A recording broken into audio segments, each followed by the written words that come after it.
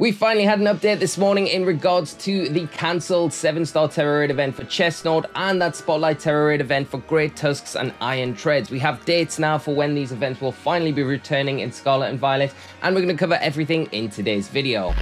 So on the 19th of May, these events went live. The Spotlight Tera Raid event for Great Tusks and Iron Treads and the returning 7-star Tera Raid event for Chesnaught. But shortly after that event went live, both these Tera Raid events got pulled because of an issue with the item rewards in the Great Tusks and Iron Treads Tera Raid event. The issue was there was a non-item appearing occasionally in the rewards for the Great Tusks and the Iron Treads, and this non-item was meant to be the Pokemon material, but because these Pokemon are Paradox Pokemon, it means that they don't actually have Pokemon material. And subsequently, because of this, when a player finished the Tera Raid event after receiving that non-item, it would cause the game to crash. So on the back of this, they pulled every event that weekend, and we haven't had an update since then. But this morning we have an update, and it seems like that issue has been fixed, and we have all the news with when these events will be returning.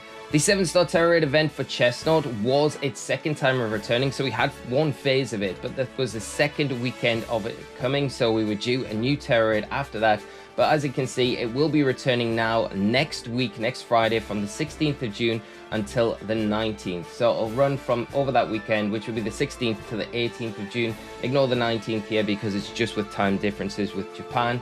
And we will be finally able to get the 7-star Chesnaught. I know a lot of you had issues because the first one dropped around the release date of Tears of the Kingdom. So you were thinking, I'll play Tears of the Kingdom, I'll get it the second week, and then obviously the issues happened and the event got cancelled. So this is the opportunity for you to get this in your games. Of course, now we do have access to Pokemon Home, so you might already have access to Chesnaught in your games, but the thing is to remember, it's probably important to get this Chesnaught because it is going to be holding the mightiest mark and it's the only way to get that mark on your Pokemon, which may have some role to play when the DLCs drop later this year. So like I say, no further information really other than this. It'll be exactly the same as it was the first time it appeared. It will be running from Friday, June the 16th until June the 18th, which will be that Sunday evening. And then after that, we should get the announcement of the next 7-star Tera Raid event, which will be Delphox. And you can see as well, the Great Tusks and the Iron Treads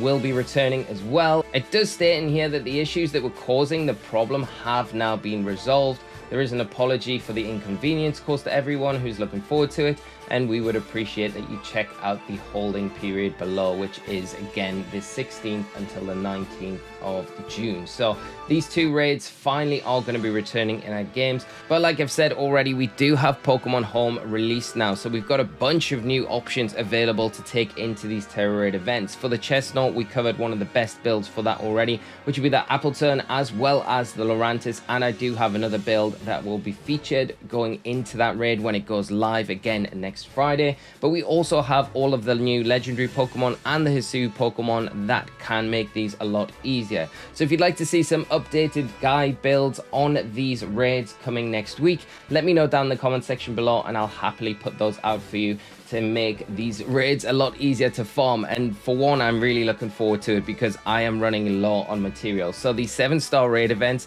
and the spotlight raid events are something that are really valuable in game just for me personally for just farming items very quickly. And I'm happy to see them returning. But I'm pretty sure that after this we will see that Delphox raid announced on the Sunday evening. So that should be the next week after this now that all of these issues have been resolved which is such good news. Let me know down in the comments section below what you think of the news today. Are you looking forward to these raids returning? And do you think they're going to stick to the original plan with that Delphox being the next 7-star raid after the Chesnaught? Thank you so much for taking the time to tune into today's video, and I'll see you all in another video very soon. So until then, friends, take care of yourselves, and bye-bye.